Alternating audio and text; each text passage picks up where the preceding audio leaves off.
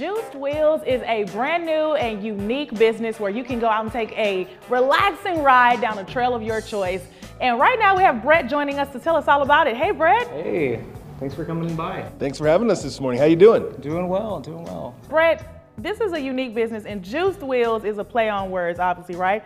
So tell me a little bit about how you guys came up with the concept. Yes, so originally we were a juice shop and an e-bike shop. So there's a play on words there of juiced wheels. So the bikes are juiced up, um, but we've actually stopped with the juice, um, and we are focusing full time now on the e-bikes. Are we starting to see with the movement to more electric cars that more people are using electric bikes, you think? Oh, certainly. It's it's a really really big uptick. I think everybody's going to have an e-bike in their garage thing. I think once the word gets out, how much joy it brings to your life, how much fun you can have outside, and once people try them, they, they want them. So yeah, I, I think we, we see a we're just at the beginning of the e-bike. Uh, yeah, iceberg that's coming. So. And you've got a variety of bikes in here. How many different styles and varieties of e-bikes you guys have here? Yeah, we have currently have nine different brands um, on the floor today.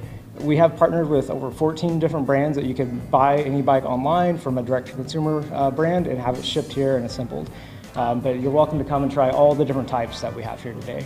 All right, and Brett, you guys have this big map on the back of the wall, right? Yes. So break it all down for us. We have a star by right. St. Peters, and you have all of these other places. What does the orange mean? It has all the bike trails in bright orange so people can see where they can ride around St. Peters, around St. Charles County. A little bit of St. Louis County is also in this map. Um, so people can go ride safely and not have to worry about sharing the, um, the road um, with car.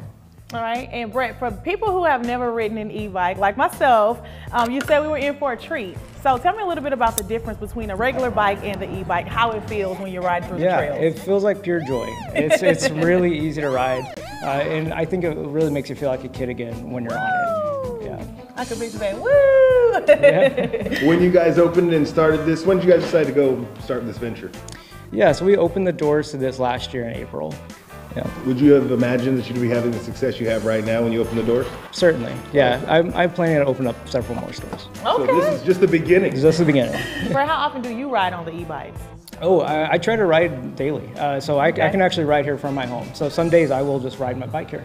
Okay. And so for people who want to come stop by and visit you, uh, what do they need to do? Uh, any particular regulations or rules? How does it all work? Yeah, so we do have uh, a test ride waiver. We ask everybody to sign and for everybody to wear a helmet.